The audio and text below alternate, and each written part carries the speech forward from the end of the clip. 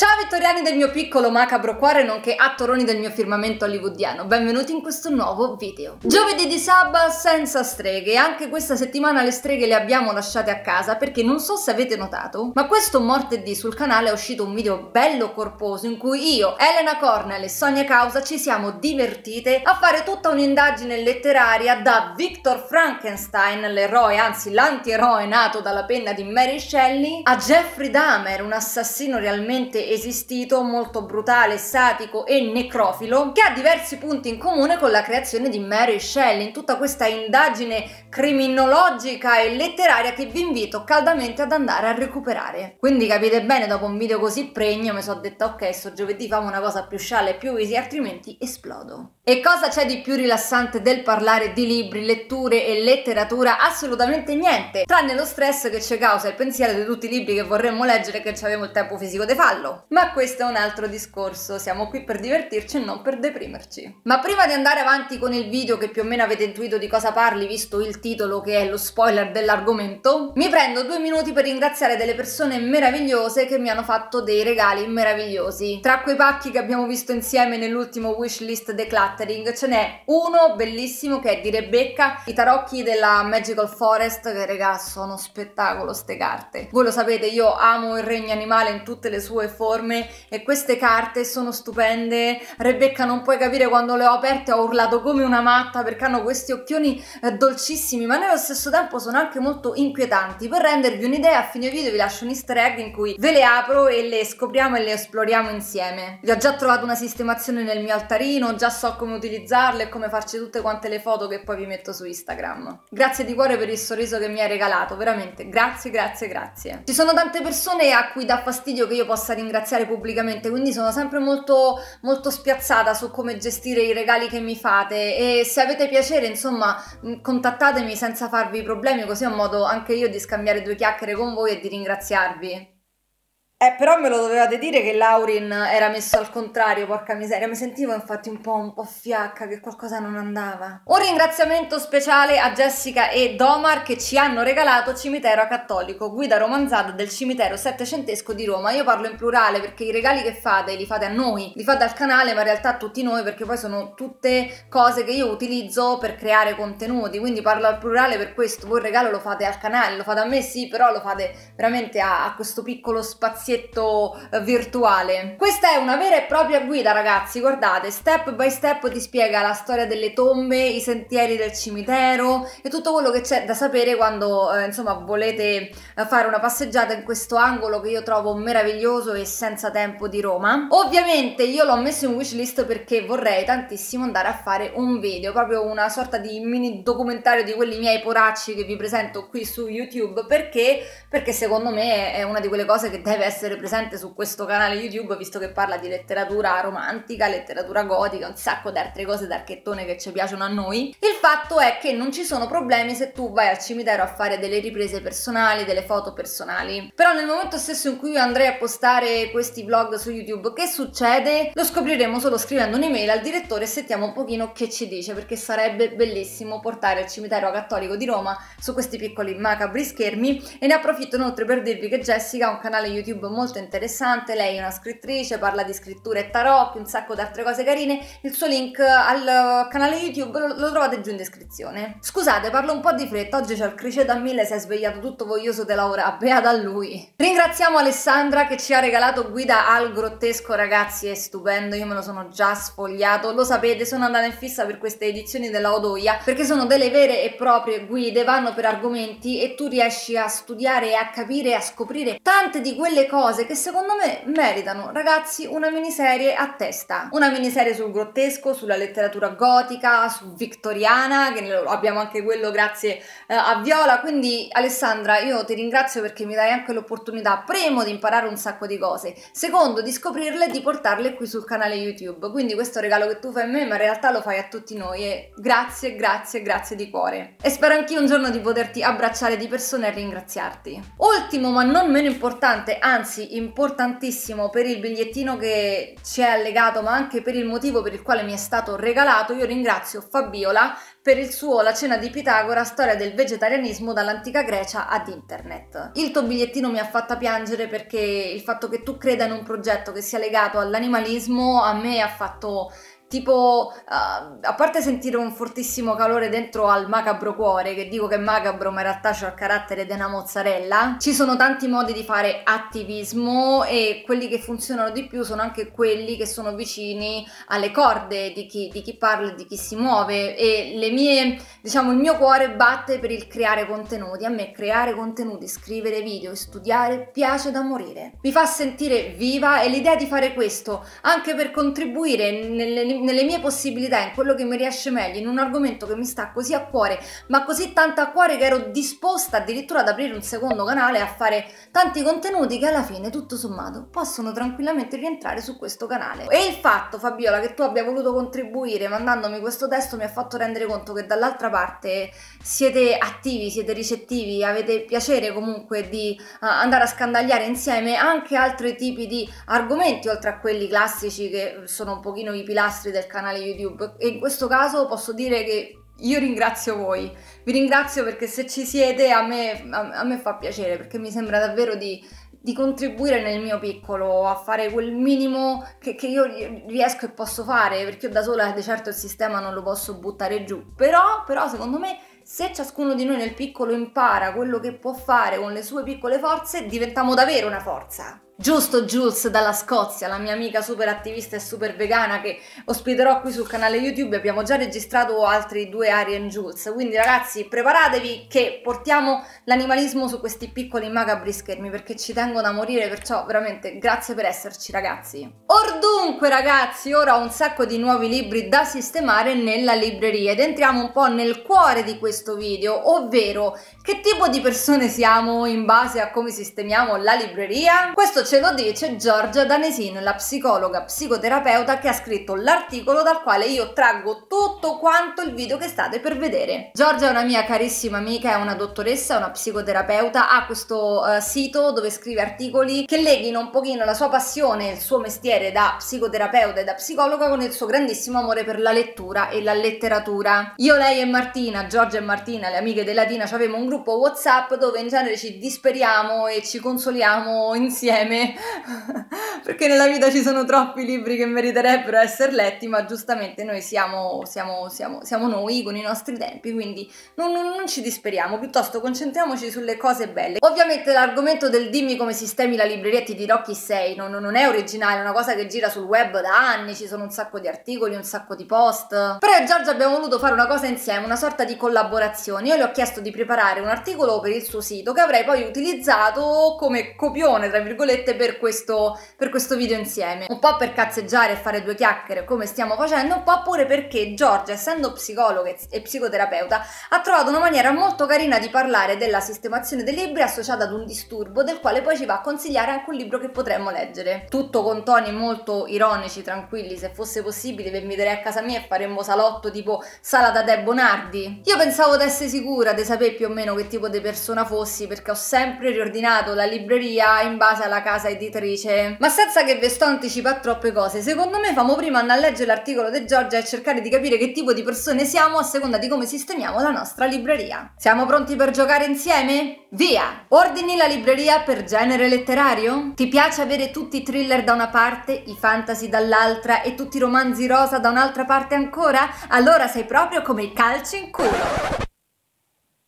Oh già! Ah, ma tu intendi la giostra, i calci in culo, quelli che fanno su e giù, sì, a Roma si chiamano calci in culo, regà. Pensando a questa modalità, mi immagino una persona dai diversi sbalzi d'umore, che sceglie il titolo da leggere in base a come sta in quel momento, in base al periodo di vita che sta vivendo. Mi immagino una persona che abbia un'altalenanza emozionale, che sfoga nella lettura interessandosi a diversi generi. Se dovessi associare un disturbo a questa caratteristica, quando patologica, allora direi il disturbo disturbo bipolare, disturbo emotivo caratterizzato dall'alternarsi di episodi depressivi maggiori, tristezza profonda ed episodi maniacali, gioia eccessiva. Eccomi, regà. Eccomi. Un titolo che posso consigliare, anche se non tratta proprio del disturbo bipolare, ma della depressione, che comunque è un disturbo emotivo, è Veronica decide di morire di Paolo Coelho. Voi lo avete letto, ma soprattutto voi siete di quelle persone che ordinano i libri in base al genere? Io vi devo dire una cosa, mi è successo nella seconda libreria, non questa, perché voi vedete questa che è la libreria dei video, tutta bellina, tutta ordinata. Io ne ho un'altra, ragazzi, che è il gran, grande il doppio di questa. Ed è stracarica, è quella dove c'è Video che giorno di questi mi cascano tutti in testa quei libri, mi esplode la libreria e io morirò gloriosamente alla mia postazione. È così che muore Arianna Bonardi, seppellita da libri non letti alla sua postazione computer dove spendeva 12 ore della sua vita. Poi dici perché so pallida e non più due spicci di sole. Tornando a tomba, dicevo, nella mia seconda libreria ho scoperto che alcune cose le ho ordinate per genere. Ora, io sono una di quelle persone che li ordina per casa editrice, ma ve lo racconto quando arriviamo poi al mio, al mio come si dice, la mia caratteristica. Però ad esempio nella libreria bianca, perché si chiama libreria bianca, ho fatto lo scaffale dei saggi vittoriani. Che poi tra l'altro non so più dove mettere quelli nuovi perché non è che non sono scaffali lunghi come questi e larghi come questi, sono più piccolini, quindi l'ho già riempito. Considerando che ho messi davanti ai Chuck che vanno dal 2000 al 2012, tipo, vabbè raga, comunque ho fatto lo scaffale vittoriano. Ed è una cosa che io non ho mai fatto, io ho tutto quanto sparso perché mi ricordo esattamente le case editrici dei vari libri, quindi poi me li vado a pescare. Ed è stato strano, però anche molto bello, soltanto che l'altro giorno sono andata in blue screen, perché cercavo il, il saggio di Massimo Centini sul killer de, delle prostitute, il saggio su Jack lo squartatore, e io lo sono andata a cercare dritto dritto dritto in mezzo ai libri della Yume Book, perché io li ordino in casa editrice e quello non ci stava, raga ho cominciato a cercarlo per tutta casa perché non ho pensato che potesse stare nello scaffale vittoriano, perché non, ho pensa- non, non ci ho pensato che l'avevo messo lì, talmente abituata comunque andare a colpo sicuro con le case editrici, che poi io vi racconto tutte queste cose pensando che possano interessarvi, in realtà non frega niente a nessuno magari, però era così per abbellire il video con i miei sfigatissimi aneddoti di vita. Ordini la libreria completamente a cazzo, a caso, caso, scusa Gio, sì, sì, è scritto caso, è scritto caso. Non pensi a nessuna categorizzazione precisa? Le persone quando vedono vedono la tua libreria sono convinte che non ci si capisca niente, ma te riesci a trovare tutto come se fosse la libreria della Bella e la Bestia. Mortacci de bella, mortacci, cioè voglio avere io quella cacchio di libreria. Ci sono due categorie di persone, quelle che vorrebbero essere belle nella Bella e la Bestia quando gli regala la biblioteca e quelle che mettono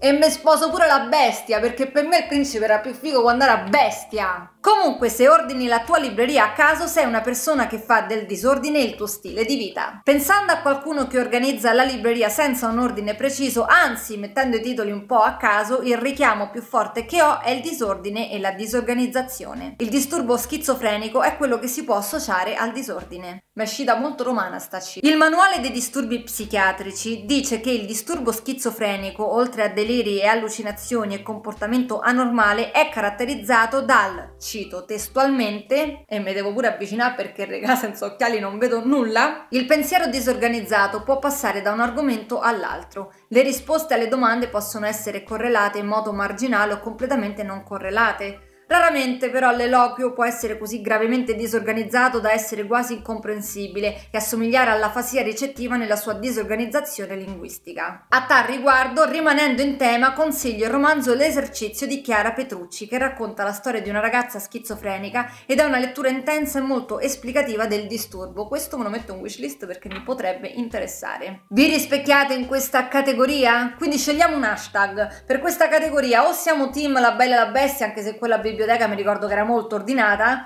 o siamo team a cazzo di cane, alla Boris, come direbbe René Ferretti. Oppure hashtag a genitale di cane, che è sicuramente un pochino più di classe. Ad esempio io non potrei mai rientrare in questa categoria. Sì, sono la persona più disordinata al mondo, ma non potrei mai mettere i libri a caso, perché anche se non, non hanno argomento, anche se non li metto per casa editrice, comunque li dovrei ordinare per grandezze uguali che piano piano poi discendono verso il basso, verso l'inferno. Sono un po' maniaca su questo punto di vista, infatti, oh ma guarda caso, il prossimo! Impazzisci nel vedere la libreria cromaticamente perfetta? E non parlo di unire rossi, blu, i verdi eccetera, ma parlo proprio di ordinare il singolo colore in base alla sua gradazione. O ancora, ti piace davvero tanto ordinare i volumi in base alla casa editrice e gli stessi ordinarli per colore?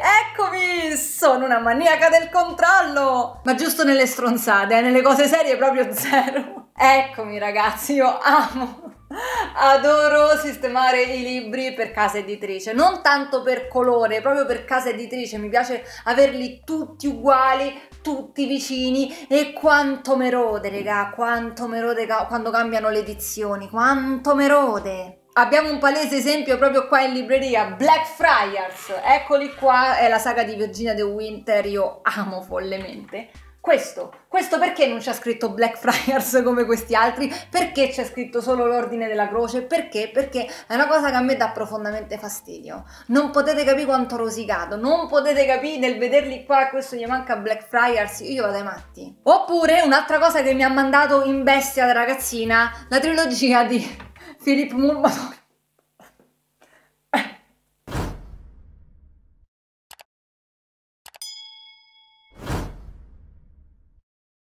La saga di queste oscure materie di Philip Pullman, io ho i primi due nella, nell'edizione Salani, il terzo è la Salani editore ma rilegato perché mio padre me lo regalò che era appena uscito, quindi a me dà un fastidio immenso avere i paperback e avere il rilegato, non, non, non potete capire, cioè li amo follemente, ci sono affezionata, questo me lo regalò addirittura mio padre alla libreria cartoleria di decima, anzi decima come direbbe la nostra Matilda con l'accento sulla A, però regà mi dà fastidio, non potete capire quanto mi dà fastidio. Un'altra cosa che mi manda in bestia, la Tea 2 mi piaceva da morire perché aveva questo storico bollino bianco, lo vedete? Cioè io ci sono cresciuta con le edizioni Tea. Poi una certa hanno tolto questo bollino e hanno messo questo qui che praticamente fa angolo qui ed è una cosa, cioè per me è una cosa inconcepibile. Io ho tutti i Tea qua sotto, tutti ordinati. Poi una certa, una certa a una certa cambiano, non ci sta più il bollino e a me sta cosa, a me sta cosa mi manda i matti, raga, che problemi ho? Sì, aspetta, ci ha detto Giorgia, sono una maniaca del controllo. Ma solo per quanto riguarda il riordinare i libri, eh, perché per il resto la mia vita va, va completamente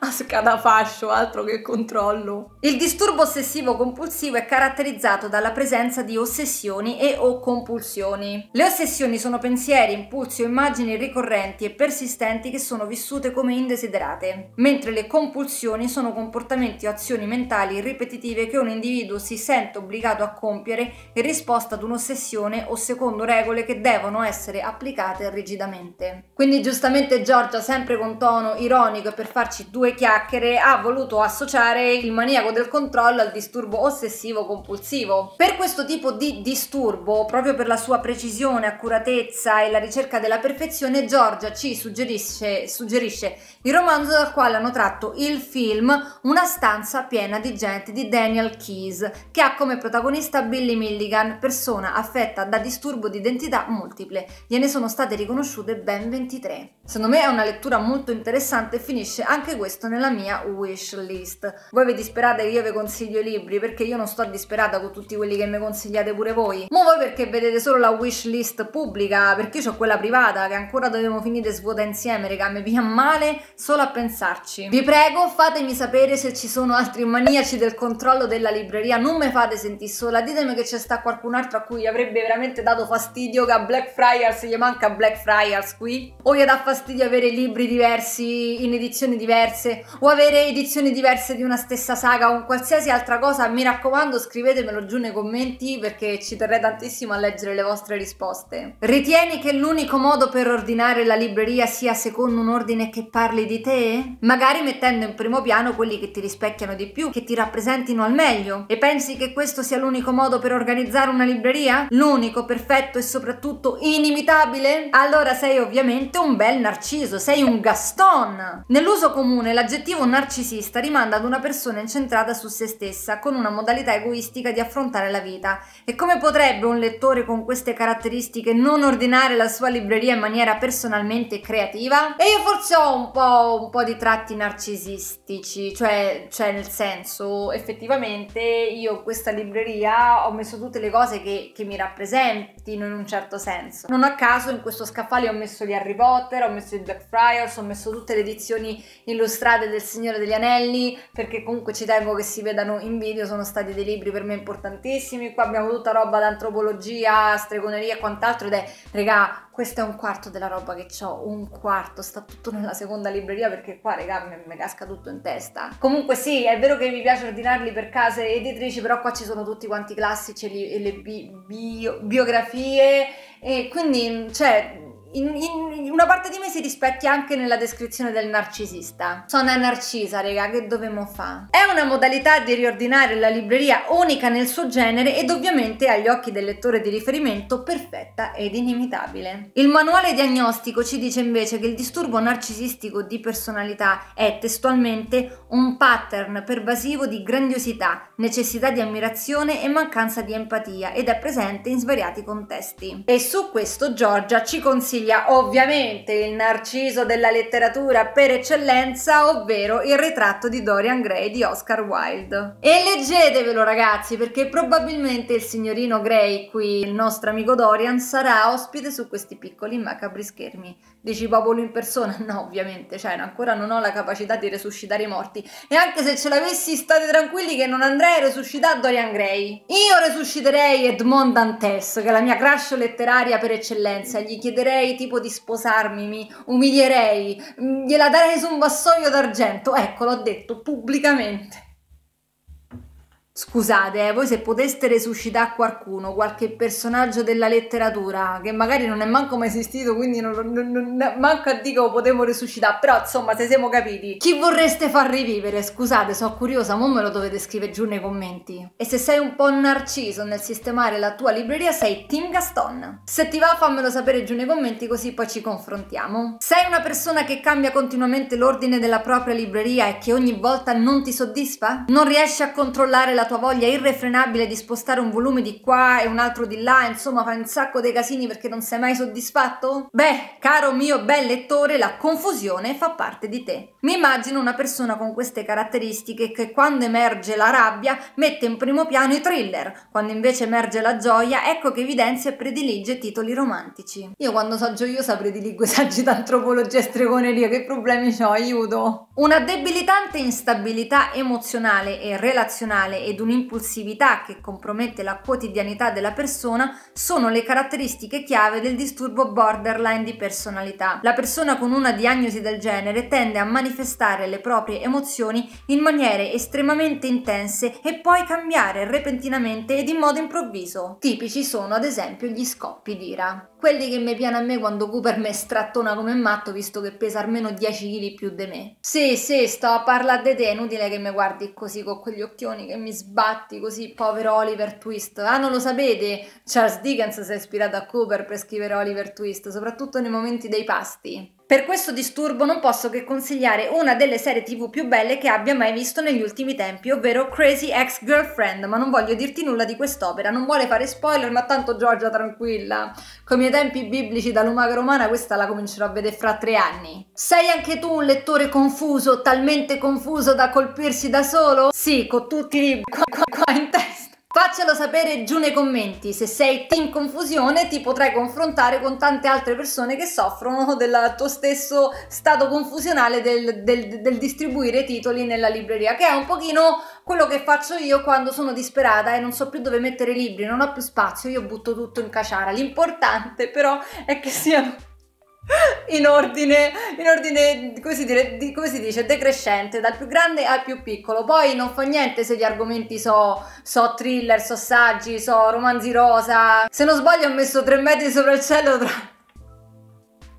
tra Shakespeare de mia madre e tipo un libro di Platone, quindi andate tranquilli, regà, sentitevi a casa con me. Bene, pittoriani del mio piccolo macabro cuore, anche per oggi questo giovedì di sabba senza streghe ma dedicato comunque a libri e librerie termina qui. Io spero di avervi strappato un sorriso, spero di aver valorizzato comunque anche il lavoro di Giorgia che è stato molto simpatico, lei ci ha tenuto tantissimo a dirmi che comunque voleva essere uh, tutto quanto con un tono ironico al che le ho dovuto spiegare ma guardami in faccia, cioè l'intento di tutto ovviamente è strapparvi una risata, consigliarvi dei libri e quelli di Giorgia sono veramente molto interessanti, ovviamente io voglio sapere come eh, riordinate la vostra libreria. Ci sono sicuramente un sacco di altri criteri per sistemare la libreria, se non vi sentite in nessuna di queste raccontateci comunque la vostra esperienza giù nei commenti così possiamo tutti quanti uh, rispondere e confrontarci e farci due risate. Raccontatemi peggio aneddoti, cosa vi dà più fastidio, cosa amate della vostra libreria, alla fine cioè mia libre- le mie librerie sono la mia vita, non sto scherzando, cioè io sarei una di quelle che se crollasse il palazzo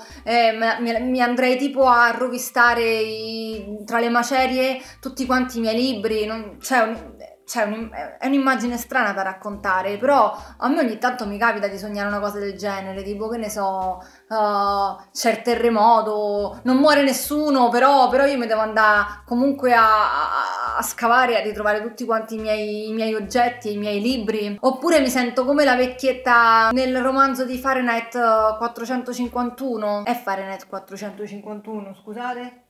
Sì, è Fahrenheit 451, ogni tanto do i numeri. C'è quella signora che si lascia bruciare assieme ai suoi libri, assieme alla sua casa. Io ho quell'immagine marchiata nel cuore perché probabilmente finirei, finirei esattamente così, mi faccio uccidere piuttosto che cedere le mie due librerie che ho tirato su negli anni e che raccontano e parlano di me. E fondamentalmente era questo che io volevo raccontare cazzeggiando e comunque facendoci due risate insieme, ovvero l'amore con, la quale, con il quale curo, compro. Ehm, Oggi è giovedì, i bambini si possono far forno. Ah no, no, perché poi mi demonetizzano i video per carità di Dio. E sono sicura che dall'altra parte capirete questo grandissimo amore che ho per la libreria, che per me il libro non è solo un oggetto, lo dico sempre, per me il libro è, è vita. Leggere è una mia grande passione, non smetterò mai di portarla qui sul canale YouTube e di farci due risate insieme. Fondamentalmente era quello che volevo dire in conclusione del tutto. E nulla, io ringrazio Giorgia per aver collaborato e aver voluto partecipare con questo articolo che trovate linkato giù in descrizione. Dai e Giorgia che se tutto va bene riusciamo a andarci a prendere di nuovo un cappuccino di soia insieme. Ovviamente Giorgi ti aspettiamo giù nei commenti, vogliamo sapere anche tu come riordini la tua libreria. E tutti voi ragazzi mi raccomando partecipate liberamente giù nei commenti che siete la mia gioia più grande, adoro veramente venirvi a leggere ogni volta quando pubblico un video. Per tutti i nuovi che sono capitati qui per caso vi ringrazio della pazienza, insomma potete iscrivervi al canale, attivare la campanella, rimanere aggiornati su tutti i miei contenuti che sono appunto molto disordinati ma ci stanno più o meno sempre. Con la speranza di ritrovarvi su questi piccoli macabri schermi vi rinnovo l'appuntamento al prossimo video. Un bacio, ciao ragazzi!